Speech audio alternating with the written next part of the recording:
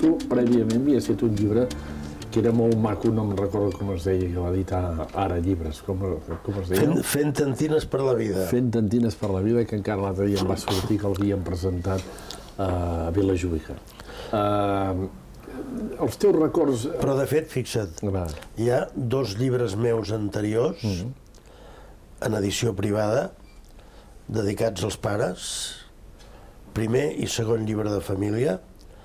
El primer llibre de família és clarament un antecedent del quan érem feliços d'en Rafael. I l'esmenta i diu que el meu llibret li ha sigut un estímul per fer el seu llibre. I el segon és un llibre més d'història però vinculat també a la família perquè es titula Les serradures del temps i és sobre Sant, Sant Nicolau i la propietat de la casa allà on vivim ara nosaltres.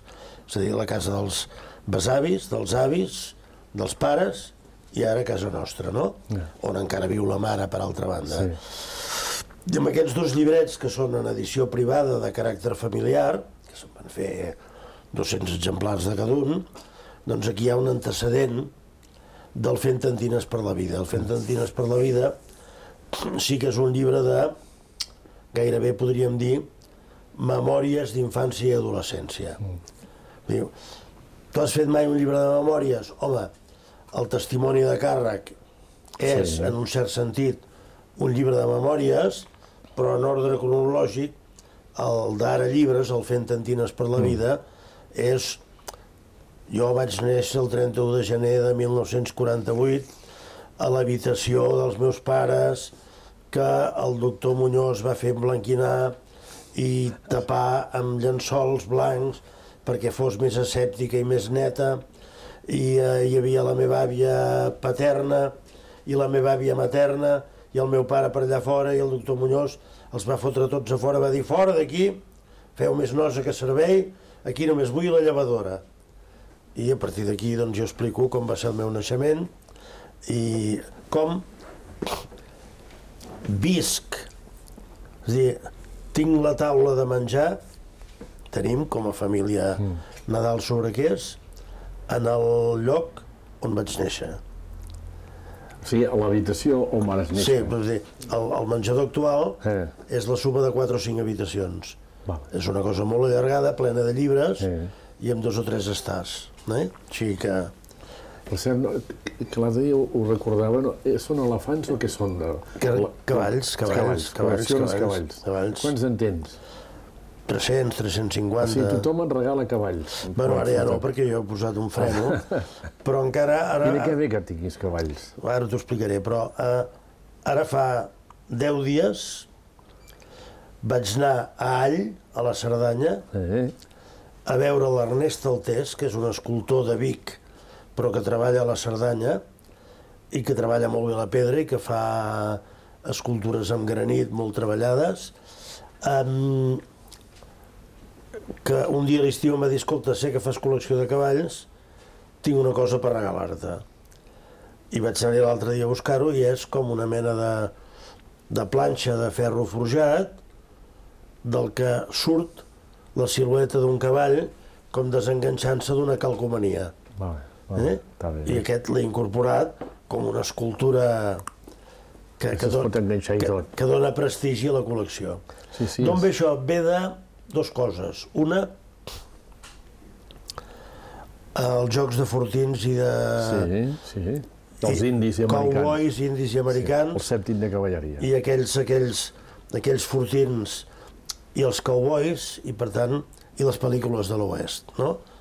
la, la possibilitat de cavalcar lliurement per un paisatge salvatge Ja. això es va convertir en una mena de somni com que quan em vaig fer gran es feia molt difícil de de pensar que podria tenir un cavall viu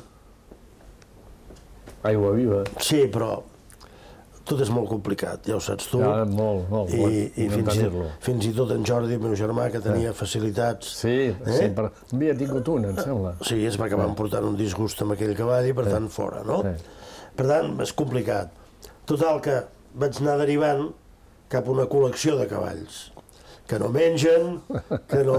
Eh? Que no es posen malalts... Sí, que no... que- Però ja has pujat tu alguna vegada de cavall? Un parell o tres de vegades, molt poc. I d'aquí ve la col·lecció de cavalls. El primer de tots, que és el que va donar peu a la col·lecció, va ser un cavall xinès que em va regalar el cònsul de Xina a Barcelona i a partir d'aquí un dia vaig anar a la cooperativa de la Vall d'en Bas i n'hi havia un de molt maco, un fusta, un perxeron d'aquests de, de tiro, no? i me'l vaig comprar. Hi ha una cosa d'aquell llibre que a mi, i suposo que tu et deu sorprendre, perquè era una cosa ben normal i, i, i d'amor total, no hi, havia, no hi havia desamor, no hi havia deixadès, que els teus pares et pugen al, en aquí a la plaça de, de la Independència l'autocar de la Teissa que et porta el Collell i tenies 7 anys. em pugen a l'autocar de la Teissa, no aquí, sinó davant, davant del Núria. Vale, allà on Eh? que sortien A la plaça del sí. Carril. Sí. I el 20 i tants de setembre eh, era el moment D'anar cap a l'internat i ens hi pugen en el meu germà Pep i en a mi. Jo tenia 8 anys i ell en tenia 7. Sabent que ens en anàvem al món desconegut per no tornar fins al 22 de desembre. Eh? I no hi havia caps de setmana, i no hi havia sortides esporàdiques, i no ens venien a buscar per anar a dinar al restaurant. Tot era Per tant, ara en diríem uns malpares, no? Més o menys, això. en, No, sense entranyes, sense sentiments. en els termes en què els pares ara eduquen els fills, sí. probablement seria mal interpretat. En aquella època, entre que anaven naixent germans i la casa no era prou gran i després va haver d'ampliar dues vegades, doncs no era, no era complicat de pensar que, que tinguessin al cap la possibilitat d'un internat. I, I tampoc em va traumatitzar del tot, A això. mi no em va traumatitzar especialment, algun altre germà meu sí més. També és veritat que jo sóc el que vaig estar menys temps i vaig estar només 3 anys. Només 3 anys. Només 3 anys.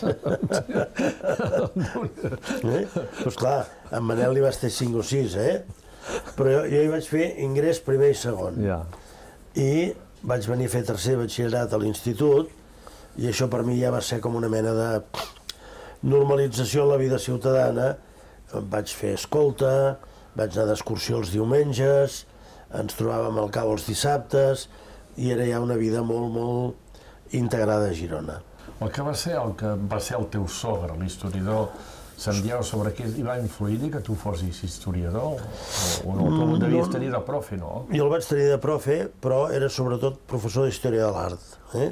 Ah, jo el vaig tenir d'història. Bueno, ell, eh, no, no especialment, eh? És a dir, a mi, qui, primer la meva mare era historiadora Sí. i segon el meu oncle Jordi Nadal era un catedràtic prestigiós a Barcelona i de tant en tant, quan jo era molt jove, 13 i 14 anys, ja m'encarregava feinetes. Ja. Eh?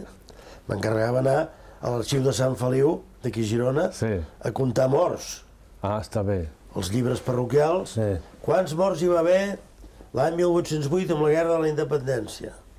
I feia unes gràfiques a partir de les estadístiques que jo elaborava. Està bé, Eh? això, eh?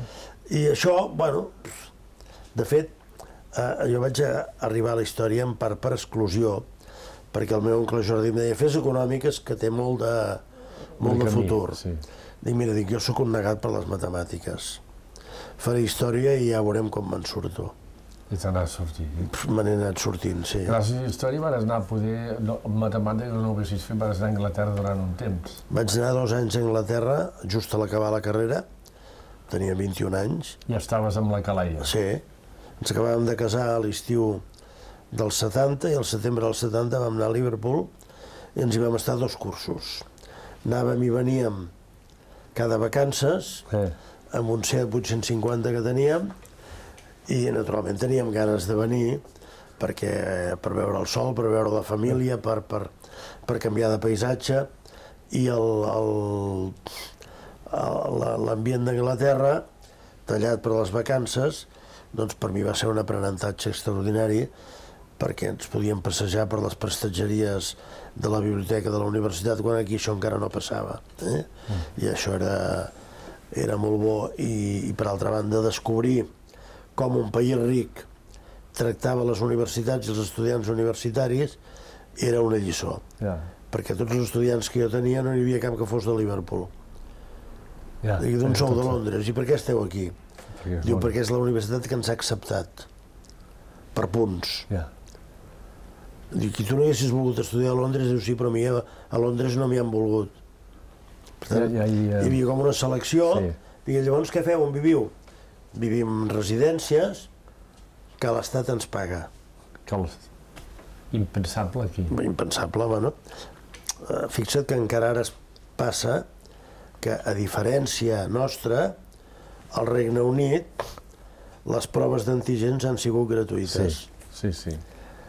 després d'haver passat per quatre o cinc governador, eh, governs ultraconservadors, acabant amb el Boris Johnson, no? Però dius, Sí, sí, bueno.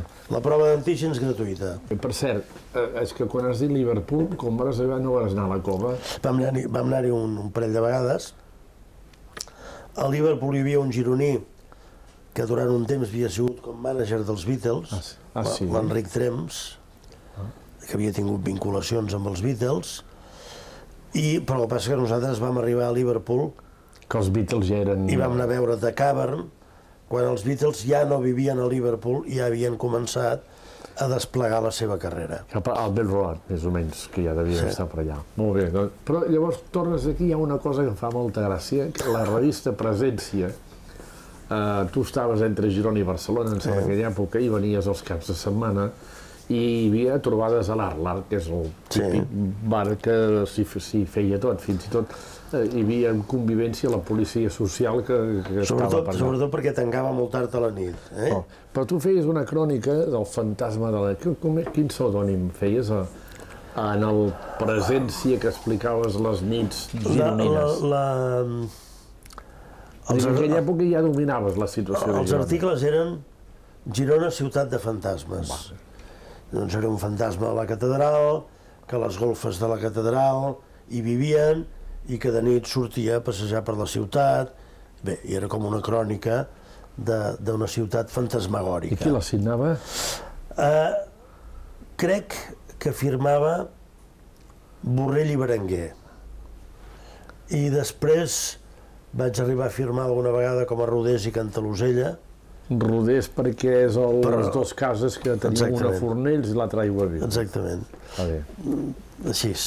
No, no, però, I Guàrdia i Canals, que era un fabricant d'indianes de Barcelona del segle XVIII, també alguna vegada vaig fer Era servir. una manera de tenir el contacte amb Girona, no? Més menys, perquè tu en aquella època estaves a Barcelona. fet, Fixa't que jo quan em presento a l'alcaldia de Girona l'any 79, jo vivia a Barcelona. Ah, és que...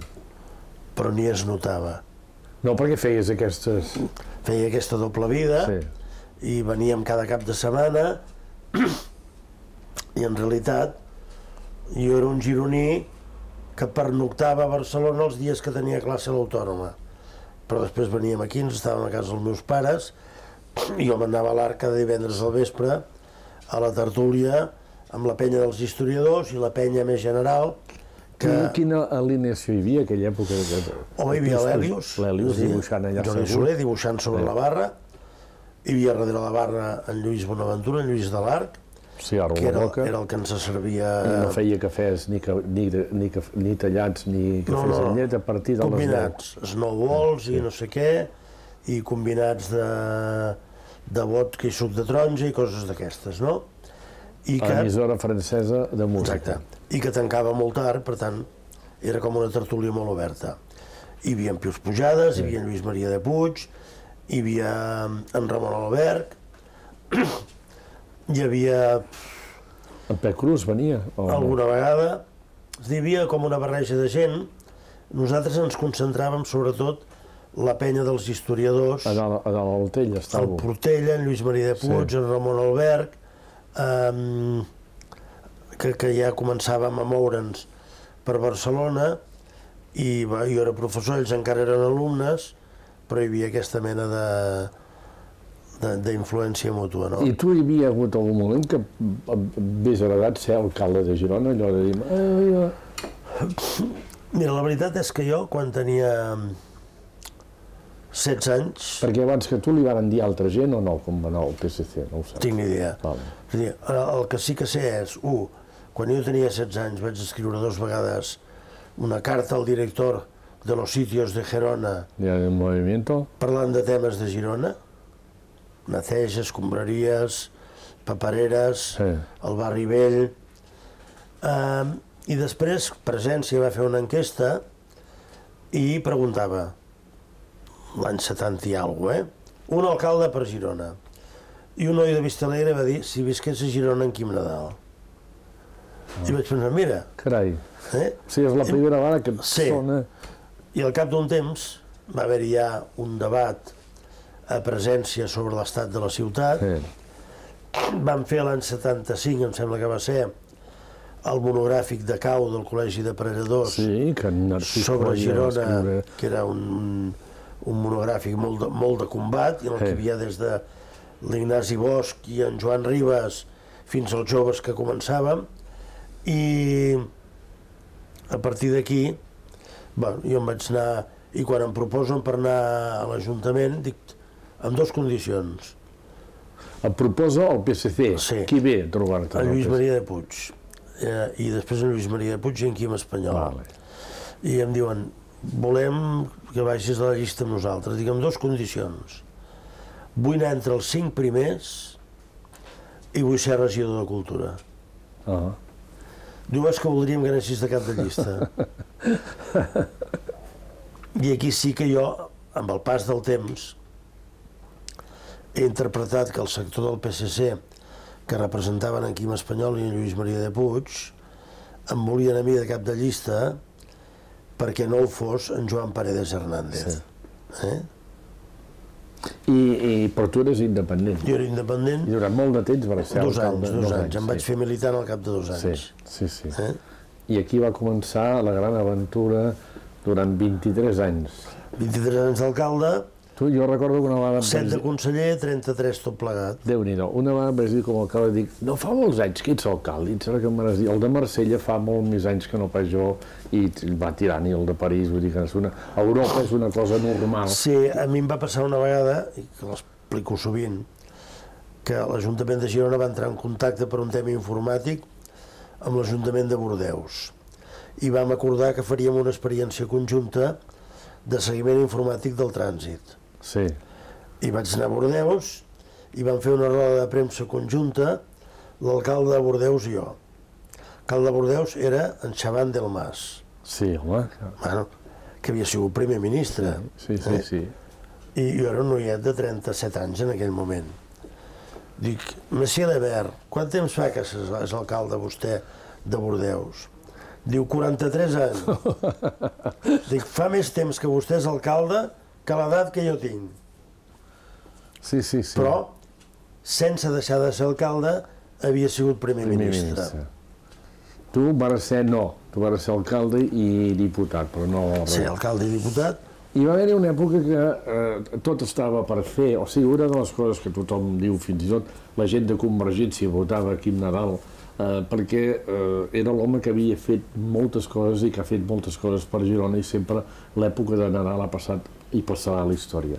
Però també s'ha de dir que era un moment que tot estava per fer, era verge, o sigui, no hi havia res. O sigui, eh, no vull desmereixer, No, però no, no, no, era no. fàcil fer coses perquè no hi havia res. O, o, o no. Eh? És Bueno, dir, sí, fixa't, sí, explica'm eh, això. Eh, hi, hi havia una cosa molt elemental, i era, si els carrers estaven sense asfaltar, asfaltar carrers era una obvietat, era dir, escolta, quin programa farem?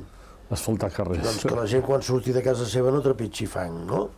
Ara, Centres cívics, ah, biblioteques... però per exemple, estem aquí no gaire lluny d'un lloc que és un espai immens, d'una zona que abans era de carrers superestrets Molts foscos. i plena d'establiments industrials. Sí. Plaça del Mercadal, plaça de la Constitució, ara 1 d'octubre, és un espai obert que obre la ciutat cap a la Gran Via i el que és una riquesa, tant si agrada com si no agrada la urbanització de la plaça, és tenir tota aquesta superfície d'espai lliure, on s'hi pot fer de tot. Per tant, l'oportunitat d'expropiar la FEXA, expropiar les cases que hi havia davant del Mercadal, expropiar l'empresa Sal i Bertran, eh, En la Grover, la Grover. Moure totes aquestes peces, home, tot estava per fer. S'havia de voler fer i s'havia de tenir la idea de fer-ho i s'havien de tenir els diners per fer-ho. Per tant, no era fàcil. Encara ara hi ha coses que jo faria que l'Ajuntament no fa. Cases que es podrien expropiar i tirar a terra, cases que ja estan expropiades i que no es tiren a terra, tot i que estan afectades, per exemple, les que hi ha a la pujada de Sant Feliu, eh, terrenys que podrien servir per fer determinades coses, en fi, eh, hi ha moltes peces encara que es poden moure, ja no en resposta a necessitats elementals, però sí com a, com a, com a apostes concretes per modificar un espai concret. sí, sí, sí. Per exemple, allà on hi ha el,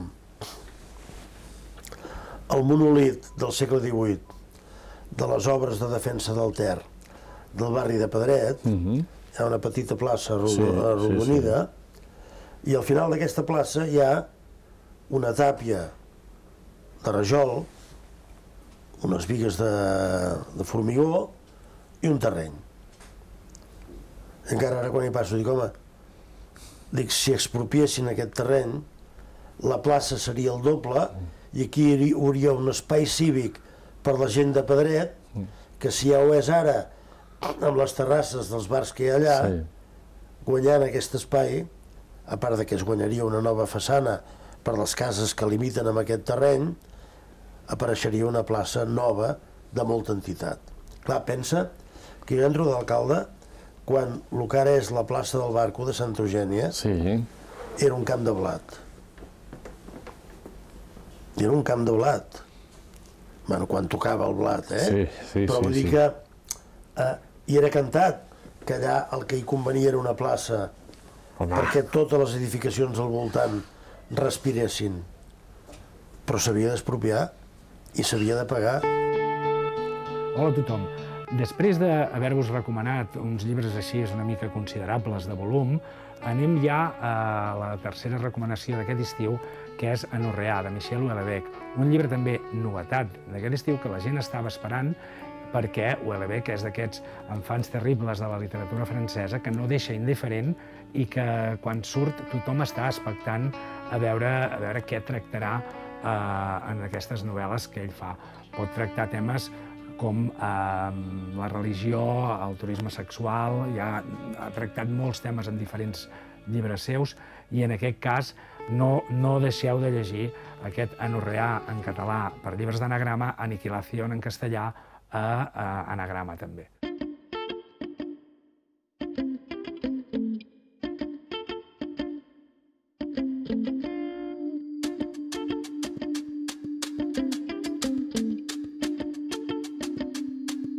Jo, jo ja, aquí hi ha una cosa que em, va sorprendre. Una vegada em vaig portar un personatge i li vas explicar la història de la ciutat i la, la planificació. I allà me'n vaig donar compte que no...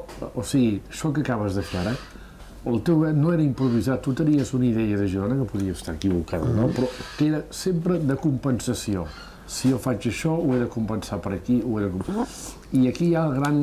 I faria bo, quan tu fas mans i mànigues a que vingui l'hipercor i pràcticament vas Sí. a les obres ets, i ets més tu que no pas el director veient les obres, però allà hi ha, un, hi ha una, uh, una contrapartida de fer, uh, i a partir d'aquí aconsegueixes, per dir d'una manera, tot uh, fer el peatonal al carrer Nou. Clar, fixa't que um, l'hipercor és possible perquè l'Ajuntament havia comprat tots els terrenys de Renfe. Tots vol dir Sí. des d'una cosa que I a la gent que ara ens vegi ja no se'n recordarà de res, perquè els joves no ho han vist mai, que és el pas a nivell de la carretera de Santa Coloma, Sí, sí, jo sí que... eh? fins a Pedret, fins a l'Unyà, vaja. Ho comprem tot, menys la projecció ver- vertical del viaducte. Com que ho comprem tot, fruit de la compra, es va poder fer el pas per sota de Caldes de Montbui, l'escola que s'hi ha costal, Sí. subestem el terreny de l'hipercor amb una clàusula que diu qui vingui a fer aquí un centre comercial haurà de portar també un hotel. I va ser el sol. Va ser el Sol, que ara no sé com se diu, Sí, té un altre nom. eh? va sí. ser el Malià, etc. Sí, sí. i ara té un altre nom, però va ser el primer hotel de la nova fornada de l'oferta hotelera de Girona. Sí, sí, sí. però sí. era perquè Girona tenia un cert dèficit de places hoteleres si és que volíem ser I modernes. I una ciutat, salons, sí. i si és que volíem ser una ciutat turística. Doncs, més eh, tot el Parc Central, més la vella estació d'autobusos, és a dir que de punta a punta, Però això ho tenies planificat, tu. això es, desprèn, es dir, fixa't bé, eh, si compràvem els terrenys de Renfe i abans de gastar-hi ni un duro, en aquell moment encara en pessetes, per fer-hi obres, per fer el Parc Central, Sí. només enviant les brigades a treure les tanques que aïllaven els terrenys de Renfe i que impedien a la gent de Sant Narcís anar a Girona fent drecera Sí. i que ja havien anat obrint forats Uh, uh, a la tela metàl·lica hi havia corriols marcats però dius, fora barreres que, que respiri la comunicació entre dos barris que estan aïllats. Això sol i abans de fer el parc central ja va ser una revolució. Per tant, a partir d'aquí el concurs per, que va guanyar Hipercor amb la idea de que, ve sent el que ara és Corte Inglés. Sí, sí, sí, que ha acabat sent. ha acabat sent-ho. Sí, sí. eh, amb, amb ampliació i tot plegat, però eh, era la proposta dir, escolta, entre que ens vagin en els polígons de fora, Mas Xirgo, Mas Gris, etc. O que sigui un centre comercial més urbà, optem per que sigui un centre comercial més urbà. Els botiguers van posar les mans al cap, Sí. però es van adonar que es havien de posar al dia. I per això lliga amb això que deies tu del carrer Nou, és a dir, ràpidament Es va fer un centre es van comercial. especialitzar, es van començar a modernitzar, ens van Ha començar... canviat taulells una ens van, vegada. Ens van començar a demanar que fos peatonal i tot això va anar ajudant a que hi hagués un procés de- d'adaptació del comerç de la ciutat a l'aparició de noves formes de comerç que no volíem que es desintegressin del centre de la ciutat, sinó que hi competissin però s'hi integressin.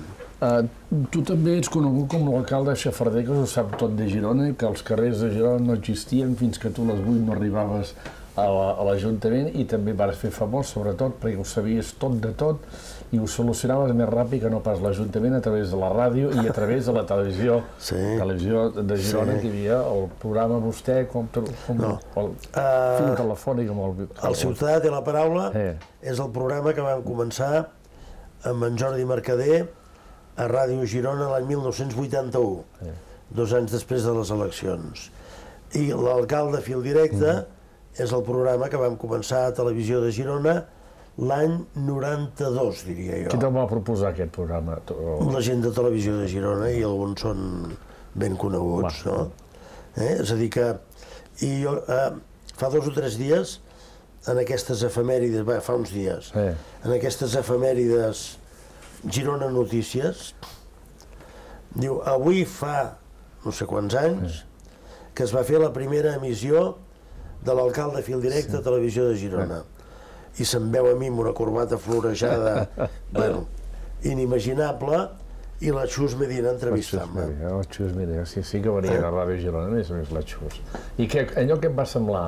Bueno, clar, ja veníem de la ràdio. Sí, Portar un programa de ràdio telefònic a la tele era una mica complicat.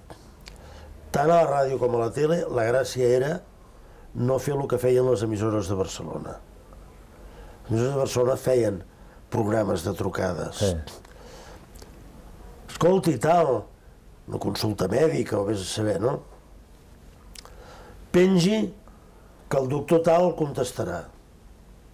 La gràcia del programa nostre era aguantar la trucada. sí. I per tant, establir un diàleg Amb el que trucava.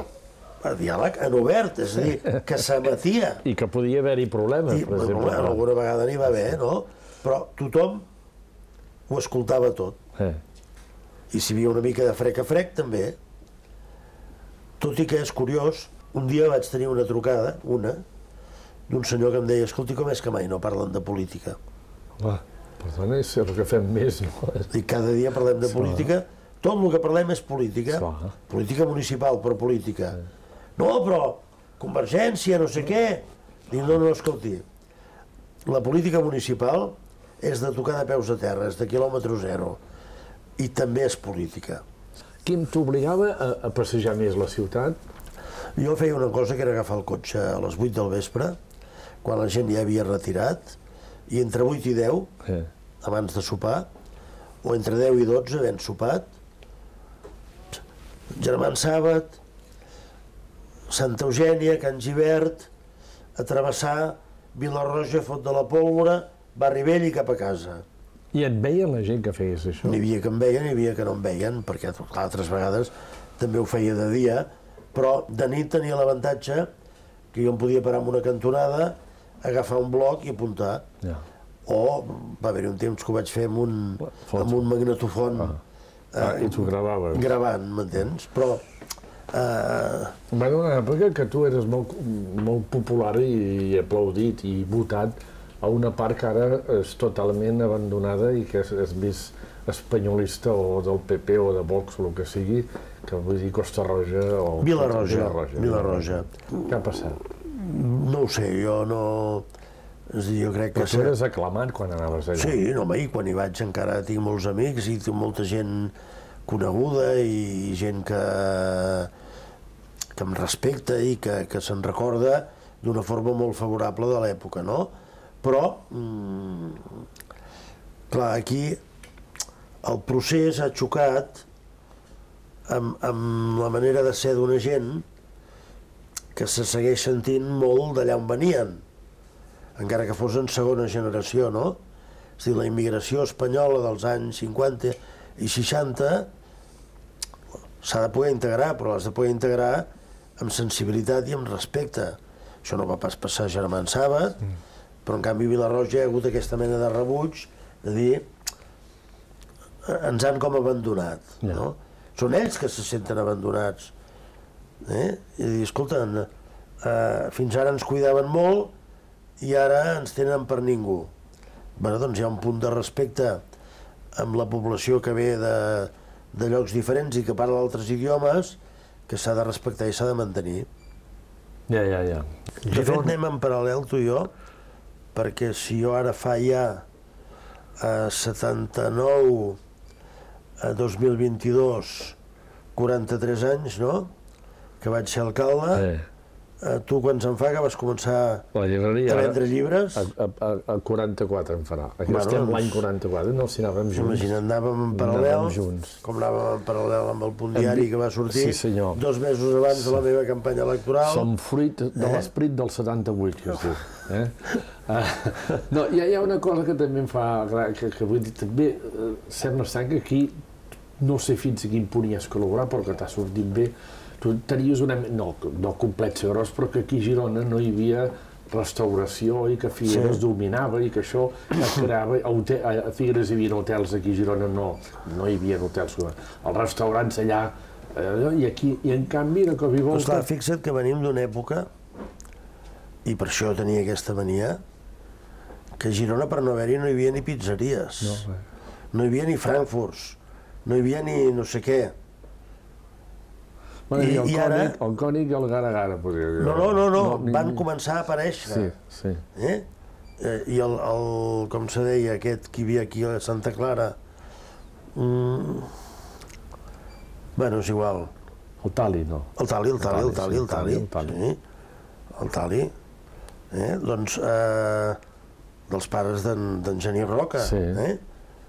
molt vinculat amb el Girona, molt amics d'en Jaume Corbet, pare, Eh. eh? I hi havia alguna granja, no hi havia pizzeries, no hi havia frankfurts, no hi havia gaires bars de copes, eh, no hi havia restaurants més enllà dels clàssics, Cal Ros, Cala Marieta, eh? Boira.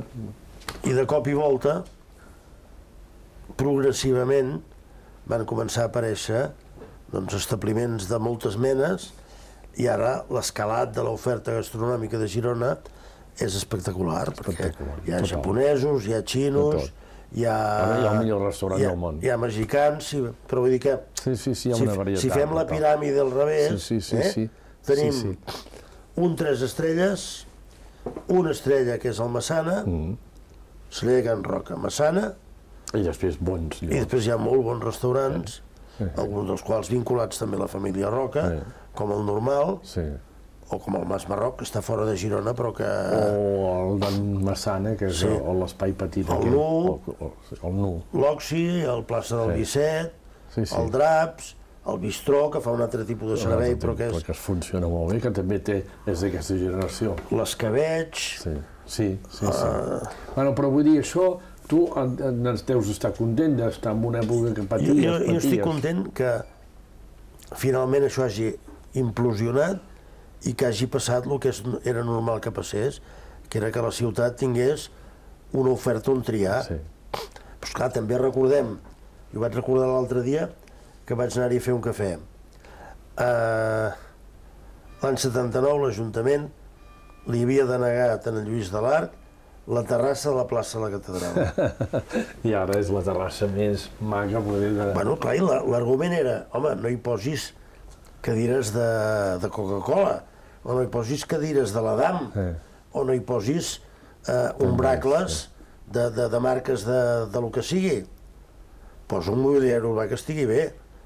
Però si a totes les ciutats italianes hi ha un bar a qualsevol plaça Sí, monumental sí. i és espectacular justament aquesta confluència entre la vida de lo quotidià convivint amb els monuments, no? Hi ha hagut molts marros amb gent que ha estat eh, a l'Ajuntament i durant temps amb coses d'aquelles per sota mà mm. i que eh, consellers, tu vas ser conseller de, de, que rebenava més diners, jo Sí. sí. recordo que l'atura deia és que un, un quilòmetre d'asfalt és tot el que m'ha donat a mi per sanitat, per, o per lo que sigui. sí. Bé, i en canvi no, tant, no, no, no has tingut cap problema amb la justícia ni de corrupció i tot això. Bueno, perquè jo crec que la gent sabia eh, el que podia fer i el que no podia fer. És a dir, la, la, Però tu no- la, no- gent, la gent només corromp qui es deixa corrompre. Sí. Per tant, la gent a la que se n'adona que no troba un forat per on entrar s'ha acabat el bròquil. Per això, És a dir, escolta, a mi se m'han penjat moltes coses, no? A mi m'han arribat a fer accionista dels aparcaments subterranis de Girona, Sí. o accionista de cadenes de... Del Boira, també, em No ho sé, del que sí. sigui, no?